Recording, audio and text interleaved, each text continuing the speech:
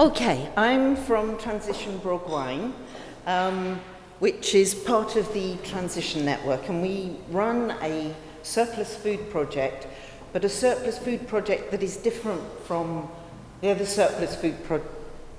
You can't hear, right? It's, oh, um, that is different from other surplus food projects around the country because for us, um, carbon reduction is our main aim. We do address food poverty, but our prime purpose, as for all transition groups, is carbon reduction, community resilience, and developing more sustainable lifestyles. Can I check?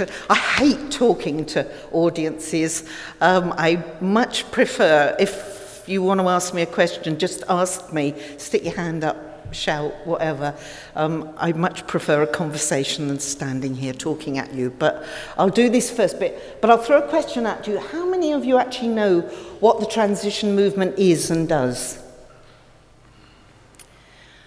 Okay, oh, it's a least winner.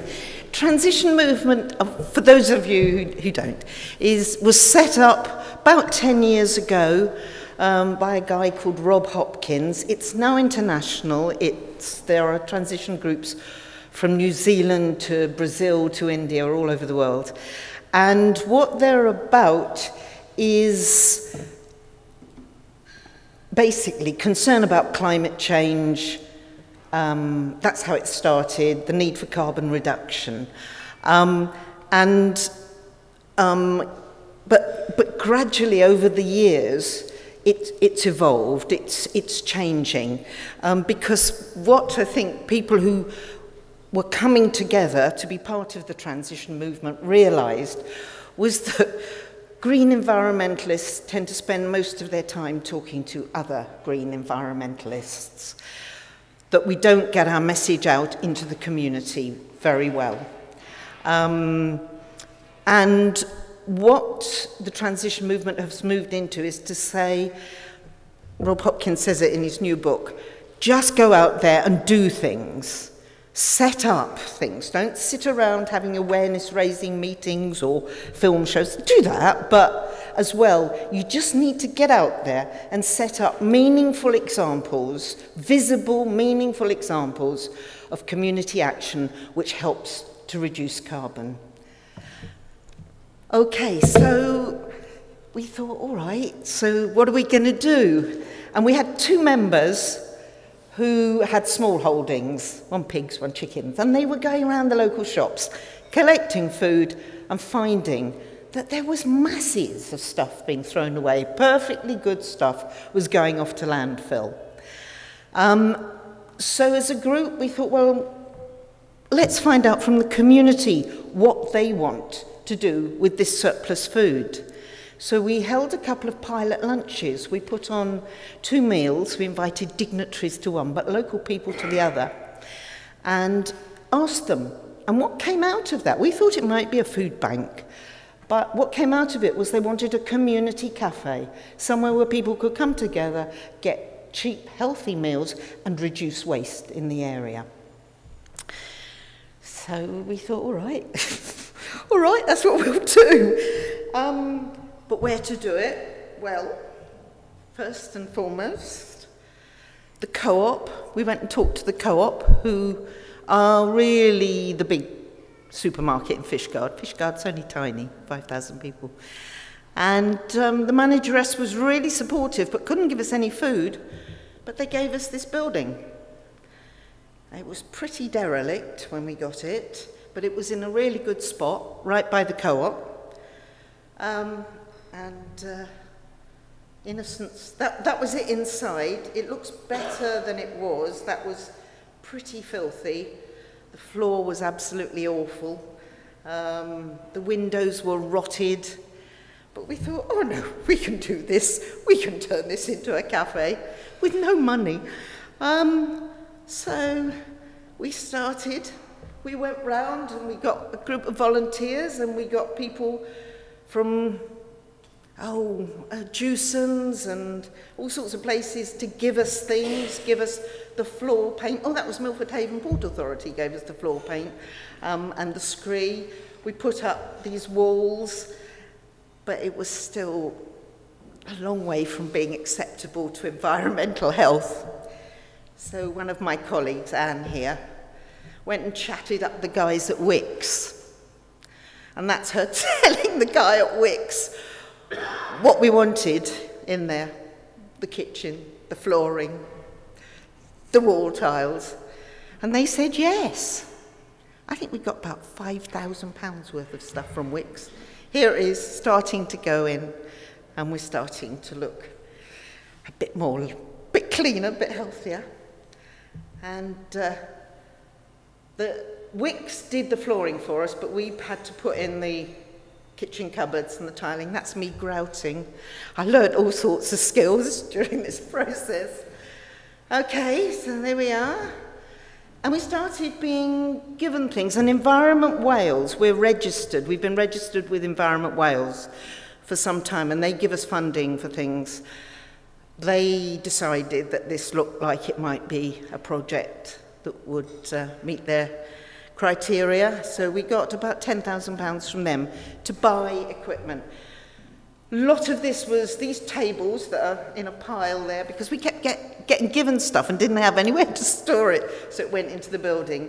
But the, um, the fridges, the cookers, we got them very cheap from a cafe that was closing down, the tables we were given.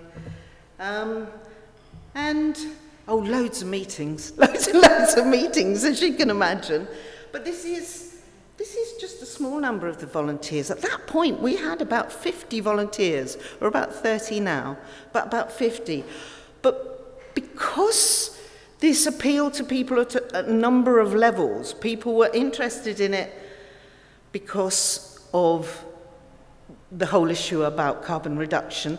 They were also interested in it because lots of people don't like waste food. There were people, some of the builders here just wanted to, you know, were happy to come and do something for the community because they knew that this derelict empty building was going to be used and turned into a cafe and community centre. So we did, we had, um, and still have a wonderful selection of people who um, help with all the various bits of it. But yes, this was one of the many meetings to plan it. And here it is, coming together. That's the, that's the kitchen with the, some of the equipment in. It's, we still weren't up and running then, but the cooks, these are, two of these were qualified chefs who came and gave us their time voluntarily to train up a lot of our volunteers. And one was a trainee baker.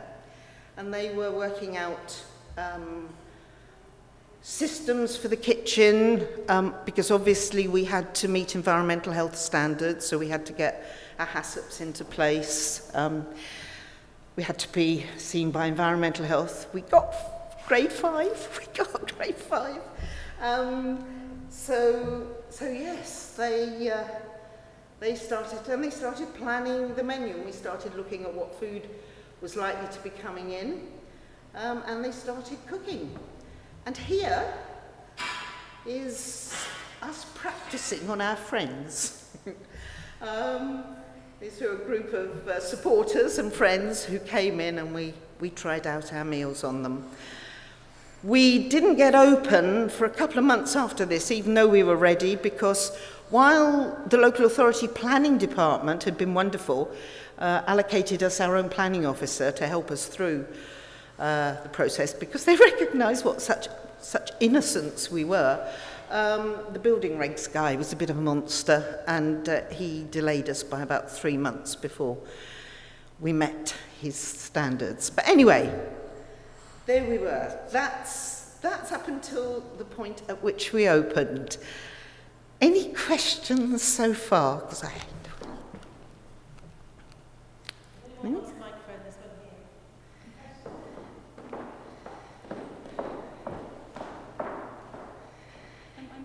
intrigued about how you actually started up in the first place because it seems like quite a big undertaking, really. I mean, did you have money behind you? Did you have a rent on this place? I mean, really, how did you No, the co-op gave it to us rent-free. They still pay all our electricity. We, we've said to them, you know, you haven't cut us off. We're still getting the electricity. Um, it was low. I worked out that the professional uh, input that we had, like from Wickes and all the other small builders and people, came to about £10,000. Um, but no, the rest of it was volunteer labour, which for one year we estimated was, uh, you estimate volunteer labour at £6.50 an hour, um, and that, it came to 32,000. So a lot of volunteer labour. People just This project, of all the projects Transition has ever tried, is the one that's really grabbed the community. People just think it makes sense. Uh, committees fill me with dread at the best of times, but voluntary committees tend to transcend all the worst parts of any committee. So how have you uh, managed to uh, make it work? um, Our Environment Wales Development Officer says we are very unusual in that we've got a group of people who uh, don't just talk, but actually go out and do. Um, and I think we're a bit ruthless that if we find people who are just getting in the way and a bit of a waste of time, we, we set up subcommittees. we have a set, no, we set up subcommittees that actually do the work. Okay, I'll move on then and show you. So, yeah, this was a year and a bit ago. We've now been open for just over a year. Okay, how does it work? Right, well, we have an, a team of volunteers that are called the acquisitions team. Uh, on the left here, this is Mim, who had a car accident as a young man and um, is disabled but with his carer, uh, is part of the acquisitions team. We've got about three or four. Anne's also, she coordinates it. They go around to local shops, um, and now the co-op give us a bit of food. They're still hyper anxious about giving food, um, but bookers give us food. Um, so they do a collection more or less every day, one or other of the team, and bring it into the building. Um, we also get a lot of food from local people. This is an old guy who regularly brings us apples. He did yesterday again. So, but yeah, the community turn up with lots of fresh fruit and veg as well. Okay. Um, and this is where, this is the sorting room. This is fairly early days. These photos were taken over a whole period of time.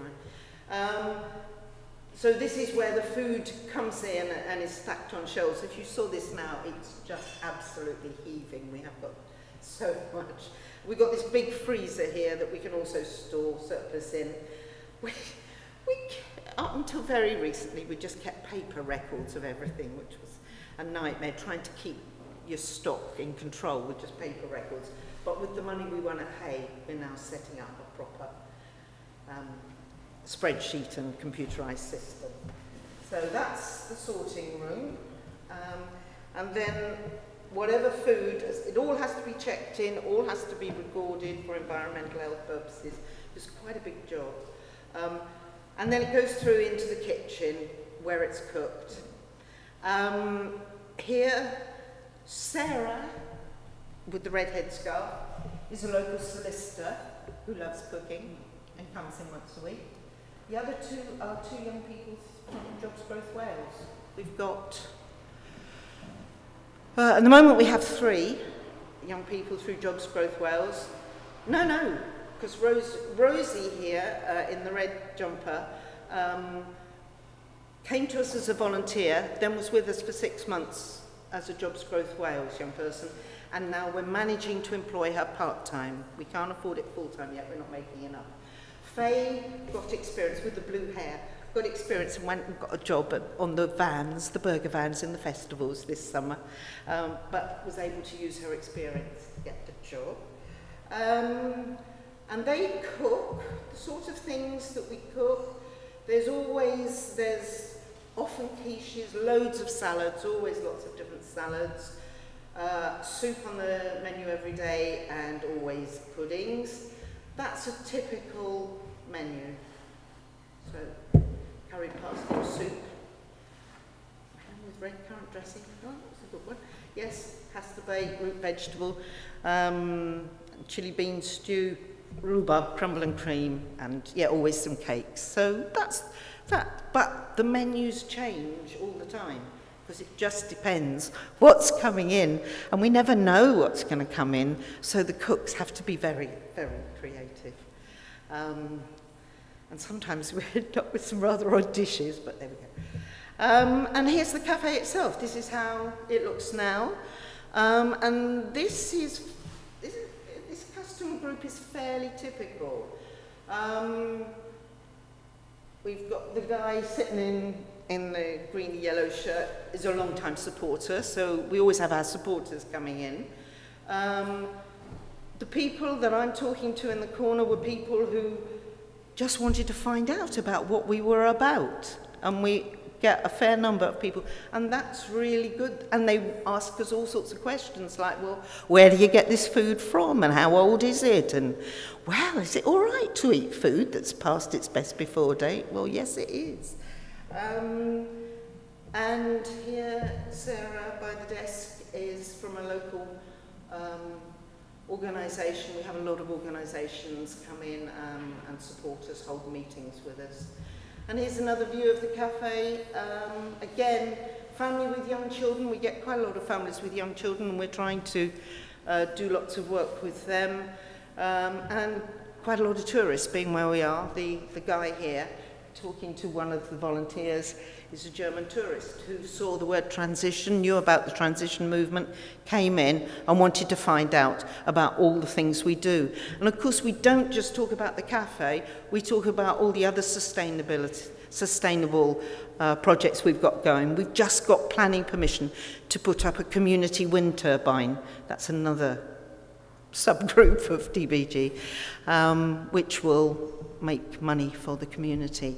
Um, yeah, um, we hold lots of events and meetings, and I've got a picture few here. That's us out doing a demonstration at Fishguard Show. Uh, that's us making pizzas with kids at another show. This is um, school children coming in from the local school. Do you remember earlier people were saying kids aren't interested in food? We don't find that at all. This lot really loved the sessions they came and did with us last year, and the school are bringing them back again this year. Um, this is our two young jobs growth. And Rosie, both of these were good cooks, but Rosie is a fantastic cook. Um, but they've made this poster for us because as well in the cafe we hold events. Seedy Saturday was a seed swap day, so people who had got spare seeds back in uh, March or wherever it was, brought them and swapped. We've had a jazz session in there, a folk when it was Fishguard Jazz Festival. Uh, that's our Christmas, one of our Christmas meals. We did three Christmas meals. Um, and yeah, that's it. And at the moment, they are running a climate change lunch with rather charred puddings to represent what might happen if we don't address climate change. because this Tuesday is a UN climate summit, and so we signed up with Avaaz. We're one of the Avaaz events, Avaaz being that big international movement that is concerned about climate change. Um, and yes, at the moment I must give them a ring and find out how they've got on. But they're running that event and they're persuading, trying to persuade customers to sign the Avaaz petition, which I hope you all will do too. okay.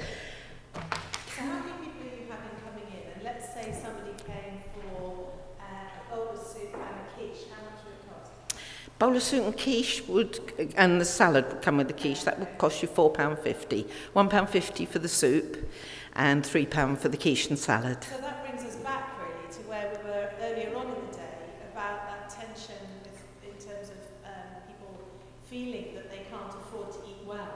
You're proving that this way you can provide cheap quality food for people of Fishguard. Yes, but what we're really, really um, concerned about um, is that the whole waste food movement is beginning to see, be seen as something that is for poor people only.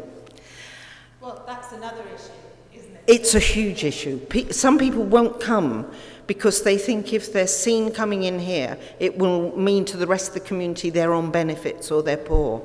And I think it's a really big issue because the people who waste most food are not the poor. The poor don't enough, have enough food to waste. Um, it's, it's, it's the middle classes, it's the wealthy, and that's why we've worked very hard to make it a community cafe and to make sure that we attract a real cross section of people, and we do. So what would other communities need to be able to follow your example in a way? I mean, could this, is it something about Fishguard that means you all know each other separately? No. Or could this be spread into other towns?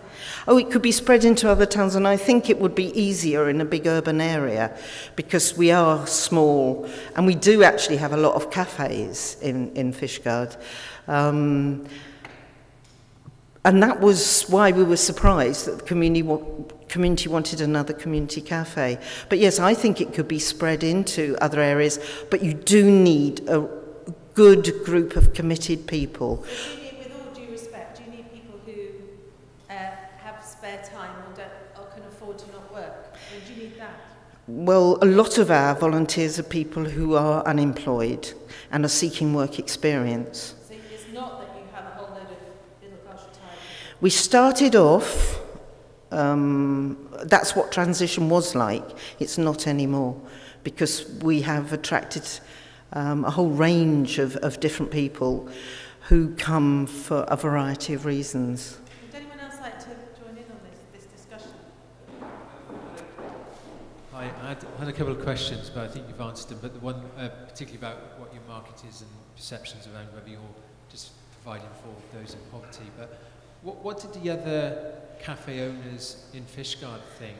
Because presumably there's an element of thinking, hey, this is unfair competition. Yeah. And are you having to be a little bit more aggressive in the way that you market yourself or position yourself in order to, to you know, Mm. to be a viable enterprise in, in, in Fishguard?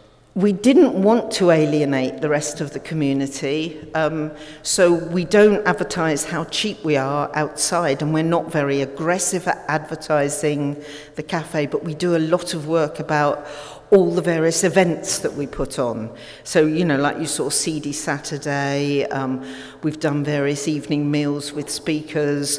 Um, other groups use us and we provide the food. We've had the lifeboat um, so uh, RNLI did a fundraising event there.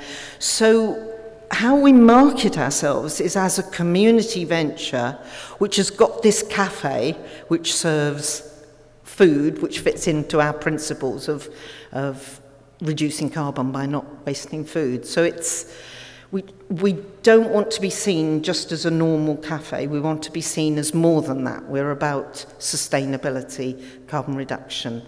Um, and so, while some people come in just because we are cheap and they can get a cheap cup of tea and a meal, and the, we do, we have a number of people who clearly are in poverty, or we've got quite a lot of genteel poor, older people who clearly haven't got a lot and are very careful about what they spend, even at our prices.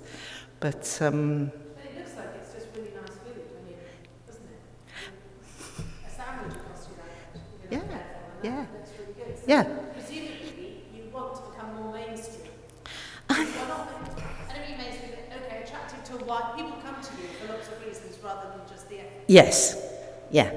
Um, we, we need to make more money if we're going to be able to employ all the young people we would like to keep on when they finish their jobs growth Wales, six months with us. Um, and we'd like to be less reliant on grants we, um, or funding like from Hay or Environment Wales. But what we don't, we're not there to become a business and make a lot of money. That's never been our aim. Our aim is always carbon reduction. And what excites me about it is that we're a very different business model. We're a model that is about not just making money, but is about um, gifting. People give us things all the time. Community exchange. We do things for a group. The writers group come and use our building.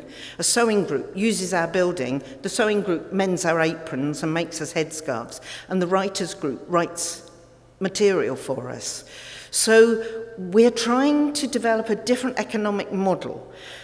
I've heard a lot today about, you know, having to grow, that Wales wants its food industry to grow by, was it 30%?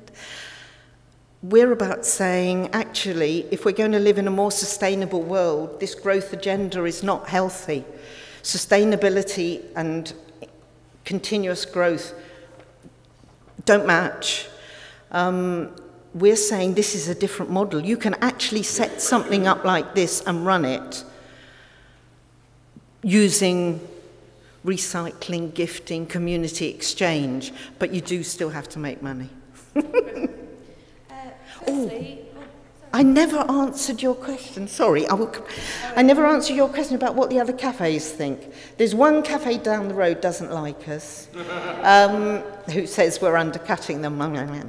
Um, but most of the others um, recognise that the food we serve is significantly different because it's mainly vegetarian.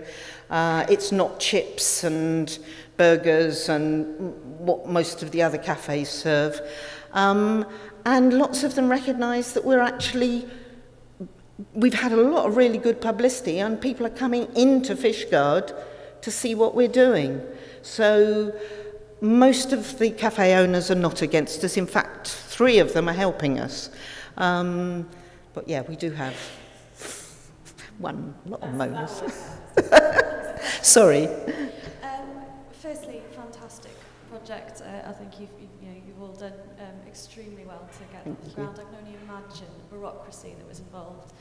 Um, Mark, I've got a hypothetical question. So we're all uh, hoping, you know, to see a world one day where there is no food waste. Let's just hypothetically say in kind of 10 years' time, yes. we win zero food waste. Where would you see your, your cafe? Kind we'll be out of business. Going? And that's fine. I can have a rest. no, we've always said that, that, you know, ideally, um, we will work ourselves out of business. And what's quite interesting is a number of the shops that have been supplying us have realized just how much they were wasting. They used to just chuck it all out and not look and think about it. Now they have to separate it out and put what's going to us in a separate bin to what's going into the pig bin. Um, and they're realizing just how much they're throwing away and how it can be used. And so the amounts we're getting from some of those shops is going down. So we are having an impact on them as well. But other shops are giving us more. So yeah. the, the paradox is the more successful you are, yeah. the, the less yeah. the, the food waste, so the less successful the cafe is. But yeah, I think it'll be a good few years before that happens. But yeah, we've got our community wind turbine. We'll do things with that. Do you think as you, as you develop as, a, as an organisation, as a business, that you will go more into other things? I mean, we had a discussion earlier talking about young people and whether young people care about food and whether they know what to do with it we saw those young people there. Do you think in time, rather than say growing the cafe, you will kind of spread your wings into other areas more? We, we presently have a business consultant funded by the Wales Cooperative Centre who's working with us to help us to look at how we might develop.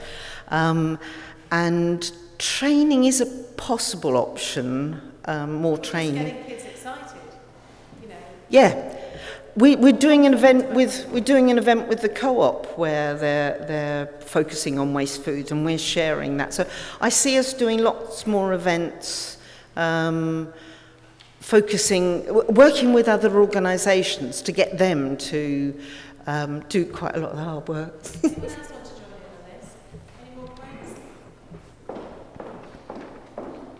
Hi Chris, thanks thanks very much. Um, couple of questions really. One, you, you said that Booker's supply you with, with um, their surplus food. Do you have any luck with the, the big four supermarkets at all? And, or is it a conscious choice not to engage with them? Yeah. The um, other big supermarkets are too far away. Well, Booker's is a fair way, but. Um, and we would disappear under a mountain of food. Now we're getting food from Booker's and the stuff from a, a bit of stuff from the co op. We're. you should see our shelves and our stock rooms. Um, so, yeah, I mean, we, we don't really want to get too huge.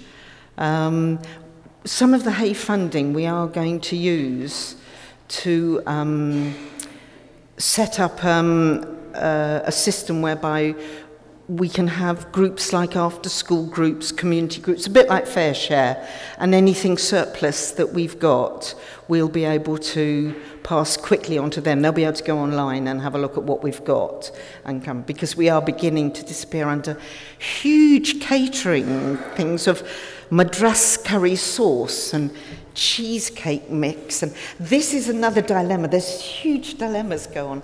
The, um, the carbon footprint of processed food is much higher, much, much higher than the nice carrots and parsnips and fresh stuff that comes through the door. And of course, all from local people, but our cooks aren't interested in your big jar of madras curry sauce. They want the fresh fruit and vegetables and any fresh meat that we get. We don't get a lot, but we, we get a bit. Um, so they prefer to cook with that food and the processed stuff sits on the shelves. But as the people who are committed to carbon reduction are saying, we should actually be using the processed food more than the fresh food because what do you do? but we say we, we serve healthy meals, and the cooks say, Well, that's not healthy, I'm not serving that. We did, though, last week we had mountains of cauliflowers, and we'd got some big, big jars of bechamel sauce, so the cooks dealt with that and put some cheese in it and turned it into cauliflower cheese. So we did use the processed stuff. But that is a dilemma because if you're getting stuff from the big supermarkets, you tend to get this big job lots of ambient food processed. Question here. You, you sound as though you're doing amazing things across a whole range of um, aspects. Thank you. Affecting the carbon footprint and reducing surplus as well as working with young people. How do you measure the impact or evaluate the impact of all of those different dimensions? I'm thinking particularly because you're getting funding too, so I guess they ask those questions all the time. With difficulty. um, we keep a record of all the food that comes in, we weigh it. So we know during our first year it was, um, we um, stopped 100 kilos of food going to landfill. That wasn't what local people were bringing us because they wouldn't have sent that, they'd have composted. But that was just the stuff that came from the shops that we knew would have gone to landfill. So 100 kilos a week. And we cooked at least 50 kilos of it, and the rest would go for composting or to animal feed, as long as that was legally okay. Couldn't have come into the kitchen bit of the cafe uh, if it's going to go to animal feed. Quantify the impact that you're having on those young people's lives and on the kind of the community benefits as well as the very practical thing that you're set up to do? On the young people's lives, um, well, um, the young people who've come through Jobs Growth Wales, it's, it's work experience, um, but it's not just that. It's we saw those young people coming from school. Yes. I mean, that's another thing. And they're a, with, Right, isn't it? they're a withdrawal group, and it isn't just the young people, we also have a number of people with learning disability or disabled. Um, and for them, it's, it's somewhere where they're giving something meaningful to do. We always let them know, you've done four hours today, that's match funding for us, you've earned us, or whatever that is, 30, 26 pounds today. And you see them, you know, oh, I've, I've done that, even though they don't get it in hand. Um, so it isn't just work experience. We also put on, um, Environment Wales have funded uh, level two and level three hygiene courses. So all our volunteers um, and young people have an opportunity to go on those courses. But I just see them grow. I, I just, and we've got some long-term unemployed who, you know, it gives them something that's meaningful. So. Um.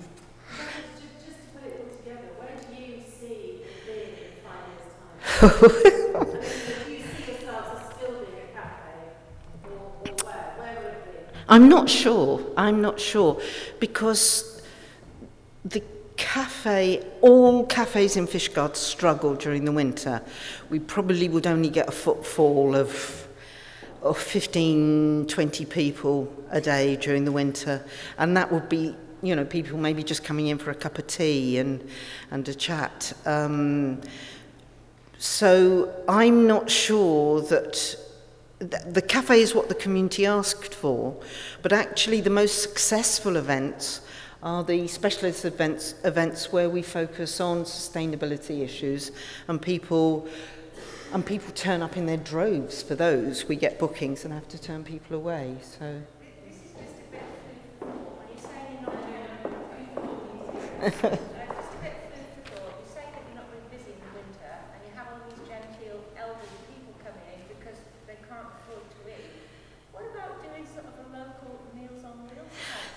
It- Yeah.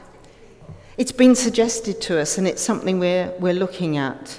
Um, as I say, we're working with this business consultant um, to identify which would be the best options for us.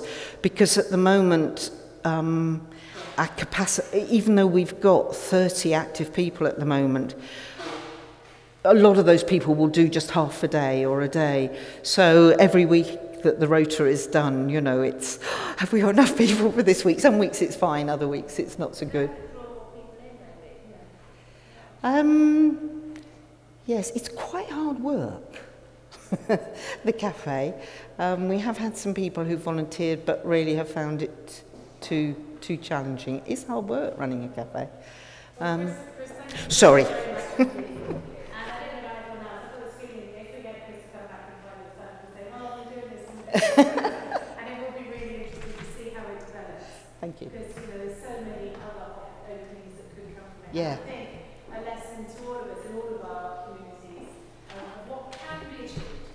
I forgot. We just heard the Surplus Fish Project. We've just got funding from uh, the EU to take the bycatch that the fishermen down in the harbour were throwing away that they can't sell. And we've got funding to set up um, training sessions and workshops for the community. There's lots, there's lots we could do.